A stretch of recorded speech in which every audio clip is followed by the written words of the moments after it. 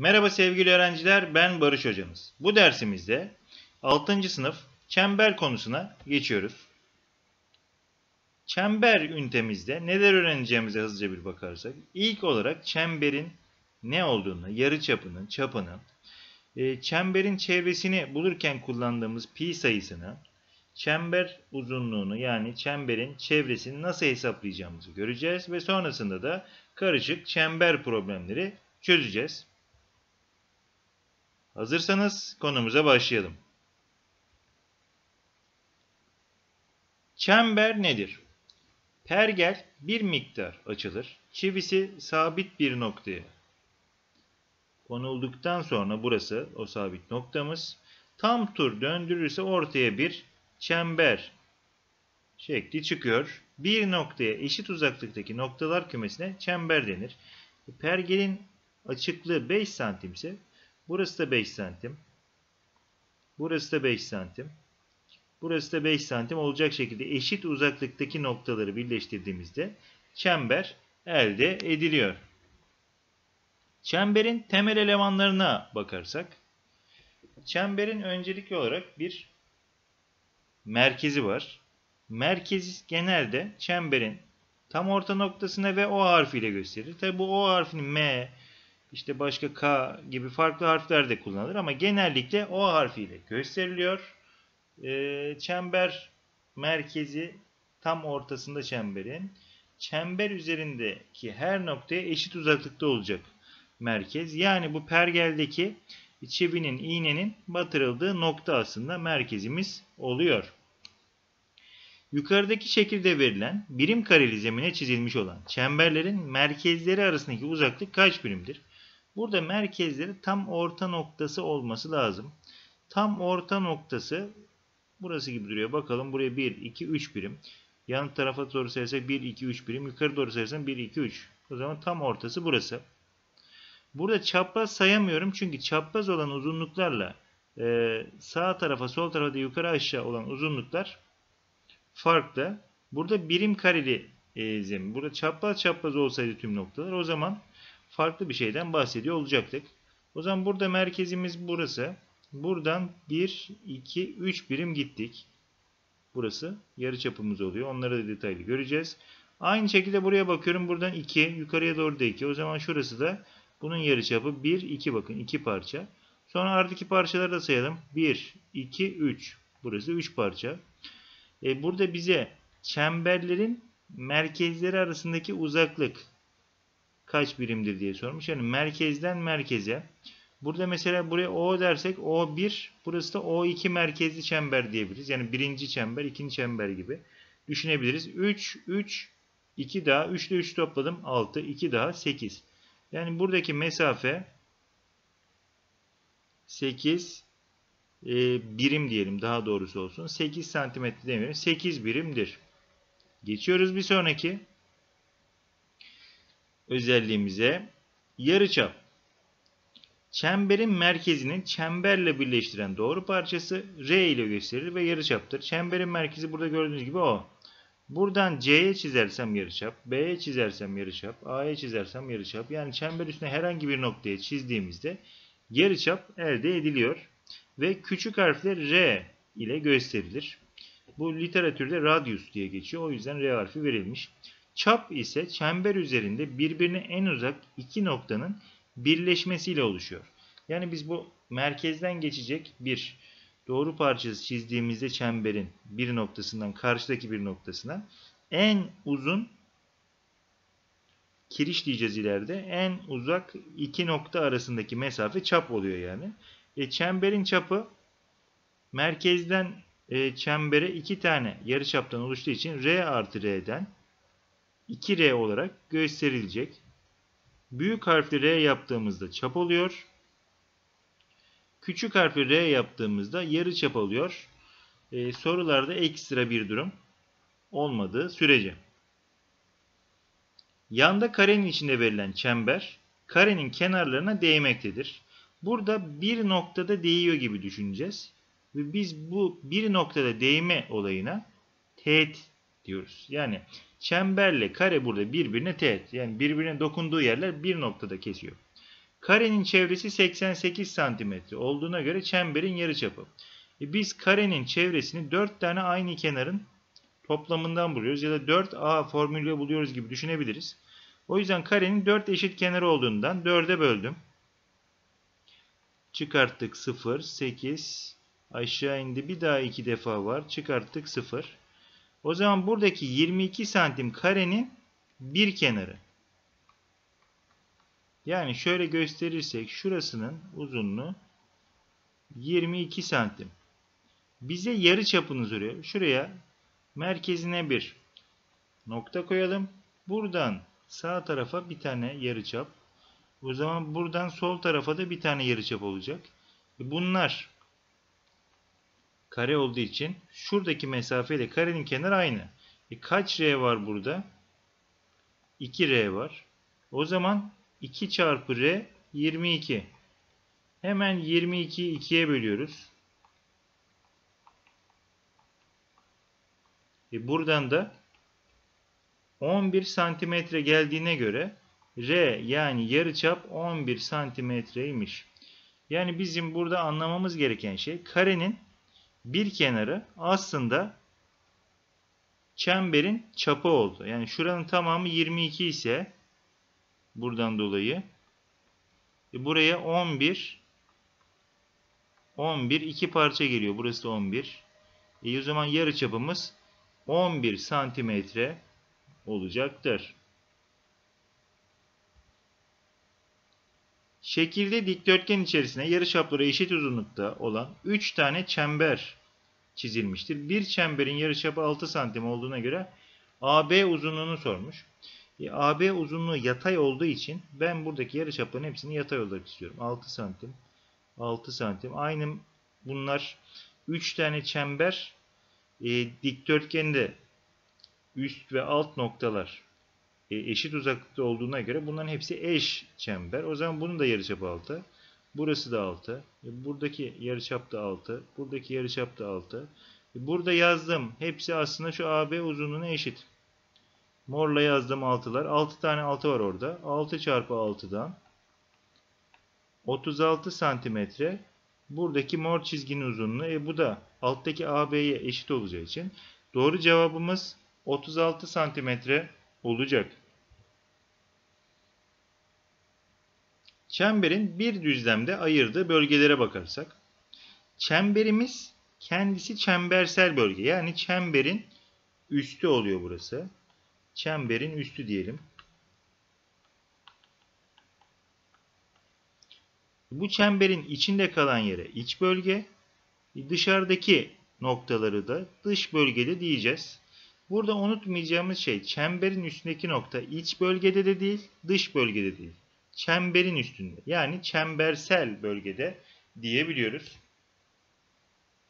Yukarıda verilen O merkezli çemberde noktaların çembere göre konumlarını belirleyelim.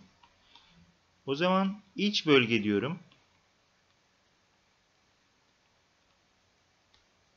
Çembersel bölge diyelim ya da çemberin üstü diyebiliriz. Bunu sorularda öyle de verir. Ve dış bölge diyelim. Buradakilerini bulmaya çalışalım. Şimdi iç bölge çemberin içindeki yerler olacağına göre içeride hangi noktalar var? B, E ve G. Bu O noktası çemberin merkezi olduğu için yazmayabiliriz. Burada diğer noktaları e, sormuş bize. B, E bir de şuraya G diyelim. Çemberin üstünde ya da çembersel bölgede neler var? C ve D noktası var. Dış bölgede de bakın bu çemberin dışında kalmış bu nokta.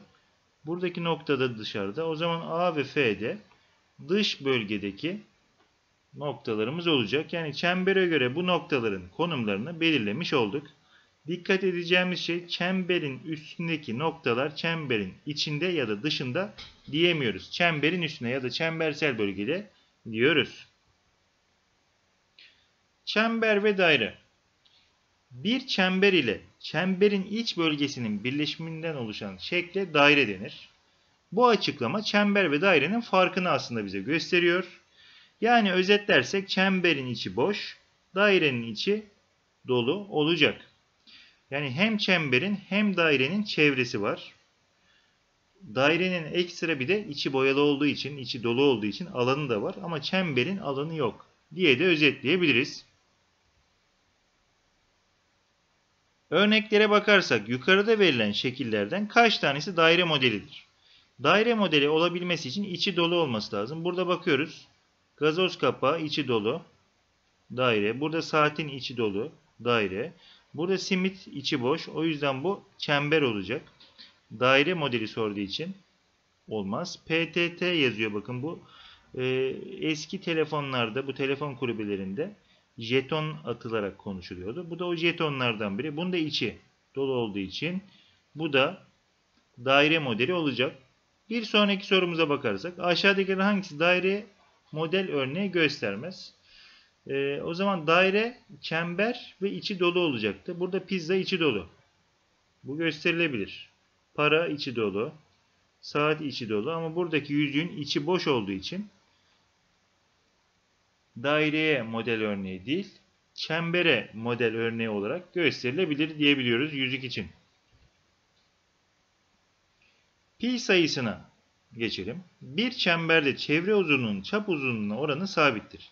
Yani daha e, günlük ifadeyle söylersek herhangi bir çember seçelim. Onun çevre uzunluğunu çapına bölersek her zaman aynı sayı çıkıyor.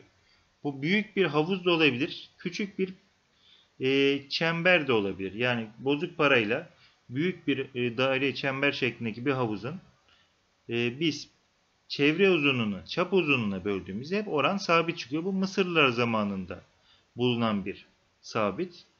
Bu sabit sayıya pi sayısı deniyor ve pi sembolü ile gösteriliyor. Burada yaklaşık değeri 3,14'tür pi sayımızın. 3,14 3. ayın 14 yani Mart'ın 14'ünde hatta bazı okullarda ya da çevrenizde gördüyseniz aslında dünya çapında okullarda kutlanıyor. Pi günü olarak kutlanılıyor. 3. ayın 14. günü. Bununla ilgili tişörtler vesaireler yapılabiliyor. Hatta dünya çapında yarışmalar oluyor. Bu pi sayısı aslında yaklaşık değeri 3,14 diyoruz. Yani 3,14'ten sonra sonsuza kadar gidiyor. Bakın burada 14'ten sonra 1, 5, 9, 2, 6, 5, 3, 5 diye düzensiz bir şekilde sonsuza kadar gidiyor. Bu basamakların ezberleme yarışmaları falan yapılabiliyor dünya çapında. Biz soruda bunu 3,14 diye verirse 3,14 olarak kullanacağız. 22 bölü 7 derse bu da yaklaşık olarak 3,14 çıkıyor yine. Bunu kullanabiliriz. Ya da 3 alınız derse ki genelde böyle diyecekler. Pi sayısı kullanmamız gereken yerde 3'ü alacağız yaklaşık değerini kullanacağız. Virgülle hesaplar yapmayalım diye böyle verilebiliyor. Soruda mutlaka verilmeli. E, çemberin uzunluğunu nasıl bulacağız? Biz pi sayısına bir çemberin çevresinin çapa bölümü olduğunu söylemiştik. E, çevreyi çapa böldüğümde pi sayısı çıkıyorsa pi ile çapı çarparsam da çevre uzunluğu çıkacak. Çapın e, sembolü büyük harfle R'ydi. O zaman R çarpı pi çevre formülü olabilir. Ya da biz çapı 2R olarak biliyorduk. 2R ile pi'yi çarparsak daha çok karşımıza çıkacak olan formül çevre eşittir 2 pi formülüyle çevreyi hesaplayabiliyoruz. Çevre uzunluğu 90 santim ve 60 santim olan çemberlerin yarıçap uzunlukları farkı kaç santimetredir diye sorulmuş. Burada gördüğünüz gibi pi'yi 3 alınız diyor. E, bizim çevre formülümüz 2 çarpı pi çarpı r e biz bu formülde pi sayısını 3 biliyorsak 2 çarpı 3 çarpı r eşittir 90 çıkmalı. Yani 2 kere 3 nedir? 6. 6 çarpı r 90. E bize yarı çapı soruyorsa 6 ile neyi çarparsam 90 olur? 90'ı 6'ya bölüyoruz. 9'da 6 bir defa çıkarttım. 30'da 6 5 defa çıkarttık 0 0. O zaman burada yarı çapımız 15 santim.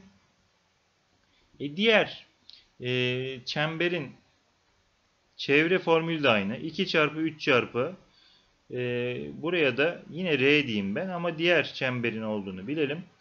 60 santim. E burada 6 çarpı R 60 santimse 6 kere kaç 60? 10. Bunu kolaylıkla bulabiliriz. O zaman yarı çap 10 santim geldi. E burada da 15 santim gelmişti. Bize yarı çap uzunlukları farkı soruluyorsa 15 eksi 10'dan 5 santimetre olarak bu iki çemberin yarıçap uzunlukları farkını bulabiliriz. Bir sonraki sorumuza bakarsak yarıçapı 21 olan bir pizzanın çevresini soruyor. Yine çevre formülü. Bu çevre formüllerini başlangıçta yazmanız her zaman öğrenmeniz adına faydalı olacaktır. 2 çarpı diyorum. E burada bize pi sayısını 22 bölü 7 al diyorsa biz de 22 bölü 7 alacağız. Çarpı yarıçap r 21 santim olduğu için buraya çarpı 21 diyorum. Burada normalde hepsini çarpıp en son 7'ye bölebiliriz ama hepsi çarpma işlemi olduğu için sadeleştirme yapalım burada. Yani ne demek sadeleştirme? Şurada 7 ile böldüm 1. Bunu 7'ye böldüm 3. Ve bundan sonra 2 kere 22 kere 3 yapacağız. Burada kolay olan nedir? 2 ile 3'ü çarpmak aslında. 6 çarpı 22'yi gördüm. E sonra yan tarafta çarpıyorum. 22 ile 6'yı çarparsak 6 kere 2 12 elde var 1. Bir de 12 geldi 132. Yani bizim pizzamızın çevresi 132 santimetre olacaktır. Yarıçap uzunluğu 20 santim olan teker A noktasından başlayarak 5 tur döndüğünde A noktasından kaç santim uzaklaşmış olur? 5 tur dönüyorsa her bir turumuz bir çevre uzunluğu olacak. O zaman biz burada 5 çarpı çevre yapacağız.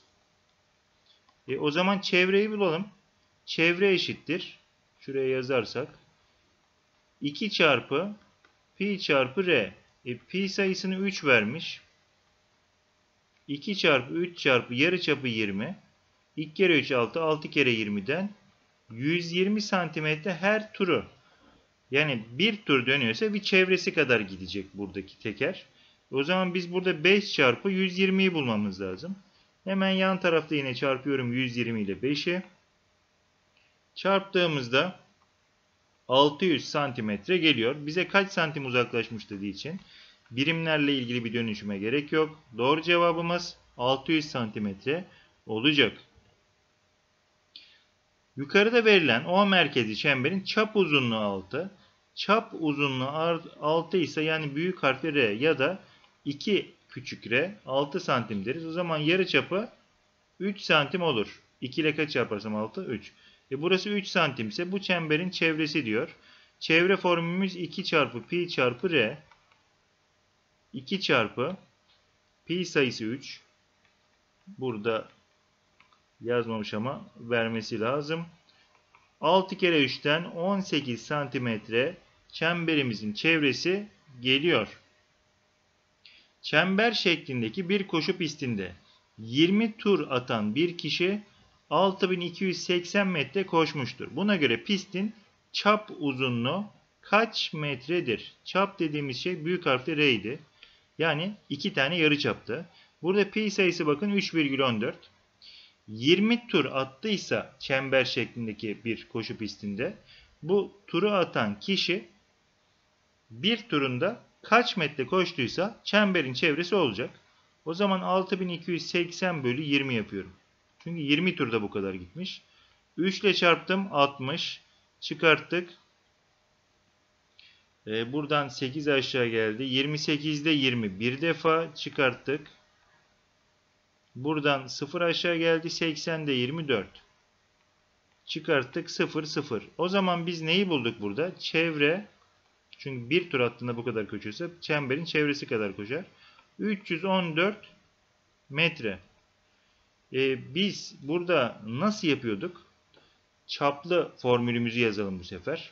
2 pi r yazmıyorum. Büyük r çarpı pi eşittir 314. E, büyük r ile 3,14'ü çarptığımda 314 olduğuna göre burada bakın 3,14'ten 314'ü denişiyor sayımız. Yani ben bunu 10 ile çarpsam bir virgül yana kayardı. Bir daha 10 ile çarpsam bir virgül daha kayacaktı. Yani iki kere 10 ile çarpmışım. Yani 10 çarpı 10 100 ile çarpmışım. O zaman burada bizim çapımız 100 metre olduğu ortaya çıkıyor. Yarı çapı sorsaydı 100'ün yarısı 50 metre doğru cevabımız olacaktı. Yani burada soruyu olabildiğince basit hale dönüştürüp sonuca ulaşmaya çalışıyoruz. Bir sonraki sorumuz birbirine tek noktada temas eden şekillerin durumu teğet kavramı ile ifade edilir. Dairenin çevre uzunluğunu 2 pi r olarak vermiş. 3 tane daire yerleştiriyor bir dikdörtgenin içine. ABCD dikdörtgenin çevre uzunluğu 48 olduğuna göre dairelerden birinin çevresi. Biz buradaki dikdörtgenin çevresini biliyorsak demek ki yarıçapa geçiş yapabileceğimiz bir şey bu. O zaman burası R. Burası R. E bu mantıkla burası da yine R, R. Burası da yine R, R. Yani bunları toplarsak şurası 6R geldi. Dikdörtgenin uzun kenarı. E sonra aynı merkezden yukarıya teğet dediğine göre bir noktada dokunuyor. R, R. Burası da toplam 2R oldu. O zaman biz dikdörtgenin çevresi olan 48'e R'leri kullanarak burası da 2R, burası da 6R. Dikdörtgenin çevresine belirleyip 48'e eşitleyip yarıçapa geçeceğiz. O zaman dikdörtgenin çevresi 6R artı 6R artı 2R artı 2R'den 16R. E 16R 48 ise 16 ile kaç çarparsam 48 olur? 48'i 16'ya bölüyoruz. 3 defa var. Çıkarttık 0 0. Demek, demek ki yarıçapımız R 3 santimetre olacak. E sonra bize dairelerden birinin çevresi diyor. 2 çarpı pi çarpı r formülü. 2 çarpı pi sayısı 3. E bize yarıçapı da 3 vermiş. 2 kere 3 6. 6 kere 3'ten 18 santimetrede bu dairelerden birinin çevresi oluyor. Verilen dikdörtgen içine çizilebilecek en büyük çemberin çevre uzunluğu. Şimdi buraya en büyük çember çizeceksek 24 çizersem bu taraf yukarıya doğru da 24 olacağı için çapı taşar. O yüzden 16 yani kısa olan kısma göre çizdiğimi düşünelim. Şöyle bir çember çizelim. Bakın her yere dokundu. O zaman şurasıyla şurasının toplamı 16 olması lazım. O zaman burası 8 8 geliyor. Diğer türlü yapsaydık 24'e dokunacak şekilde yukarıya doğru da 24 dönmesi gerekirdi. Yani buradaki dikdörtgenin dışına taşması gerekirdi. O yüzden en büyük çember 16 çaplı çember olacak. Çevre uzunluğunu soruyor. Biz yarı çapını 8 bulduk zaten. 2 çarpı pi sayısı 3 yarı çap 8 ise 2 kere 3 6 6 kere 8'den 48 santimetre buradaki çemberin en büyük çemberin çevre uzunluğu olacaktır. Ve böylelikle dersimizin sonuna geliyoruz. Bir sonraki dersimizde çember problemleri çözeceğiz. Dersimizi takip ettiğiniz için teşekkür ederim. Kanalın büyümesi adına videoyu beğenip videomuza yorum yaparsanız çok sevinirim. Bir sonraki dersimizde görüşünceye dek. Hoşçakalın, mutlu kalın.